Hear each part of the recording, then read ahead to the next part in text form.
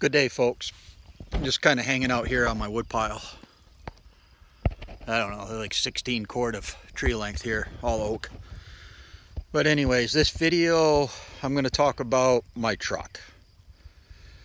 So it's a 2019 Toyota Tacoma. The pictures and uh, camper is what I'm talking about. So what I'm hauling with it overall length is about 21 feet, dual axle camper. The camper dry weighs about 4,800 pounds.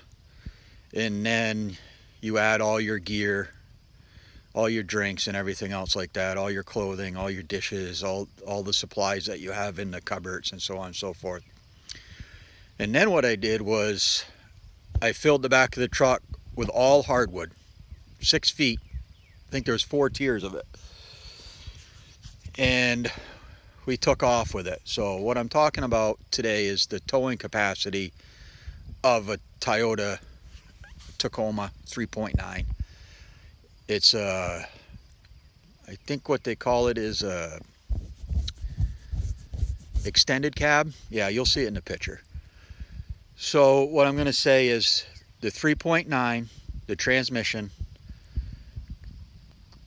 the suspension, the tires, everything on that truck, man, is an absolute workhorse. The thing pulled that camper, and I tell you right now, I'm pulling absolute max. I'm running six on the brake controller.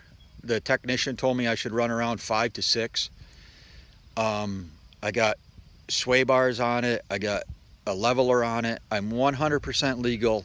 Everything's safe. I got mirror extenders for it everything. Um, it took us about an hour and 15 minutes, I'm guessing, to get there. If I was totally dry, hauling absolutely nothing, to take me about 50 minutes. I averaged 11.1 miles to the gallon on the way up. And I knew I had a load, folks. I'm telling you, it was loaded. Um, the only concern I have with it is the braking capacity you really need to pay attention to what's going on, who's pulling in, who's pulling out, and just hope nobody does something stupid. You know, you're driving this thing like you're probably driving a tractor trailer. Do the speed limit, no issues at all. So on the way home, we had a half a tier of wood left, no drinks. Basically, all our food was gone except for our dry storage, pastas, you know, chips, ramen, um, crackers, macaroni and cheese, all this dry stuff that we bought to keep in a camper in case we forgot something and we needed a lunch or the grandkids came by and we needed to cook them something that they liked. So on the way home, we averaged 13.5 miles to the gallon and it just towed it like it wasn't even behind me. Absolutely no issue whatsoever. I live on this wicked steep hill and I figured I'd be in first gear when I got to the top of it to make the right hand turn, third gear, without a problem at all.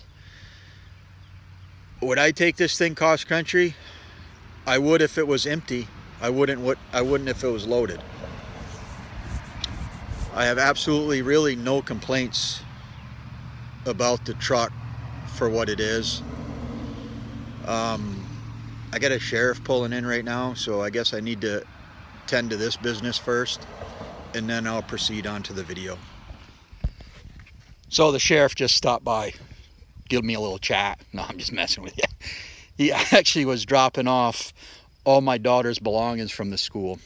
And um, he asked me if I could drop off all the belongings to my daughter's boyfriend. And um, absolutely. Wicked nice guy. I thanked him for everything he does for the community the great job he does. I respect every single one of them, especially people that help out our community like that.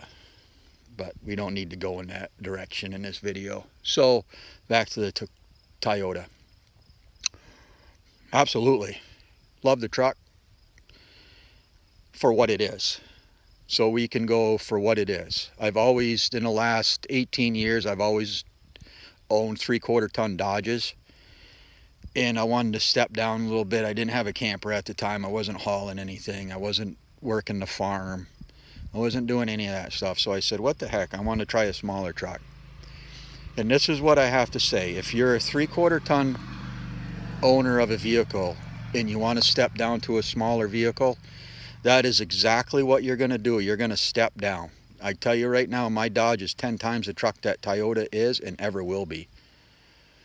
But it also doesn't have a big Hemi in it. It doesn't have a towing package, you know, it doesn't have disc brakes all the way around it.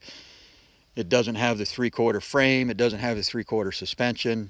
You're going to get what you get when you buy a Toyota. They are not a three quarter ton truck by any means at all. I talked to a salesman a few years back about getting one, and that's pretty much what he told me. Gas mileage on them, you know, if I, no matter what I do with my Dodge, I don't care if I got two tons of gravel in the back of it and a plow in the front of it, I get 13 miles to the gallon.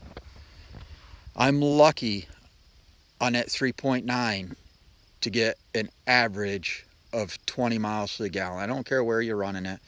If you're going to run it around town, you're going to average about 17 miles to the gallon. If you're going to run it, you know, top gear cruising down the highway, you're going to get 20. I don't understand why, but that's just the way it is. So take that information as any way you want to take it. And I also want to say thank you for dropping into my channel. You know, you can always subscribe. You always hit the like button, give me the thumbs up. You always can write a comment. We always can chit chat. I'll never steer you wrong. I'll tell you what I think. And then you can think of however you want to take that and um, go with it. So thank you very much. Have a great day.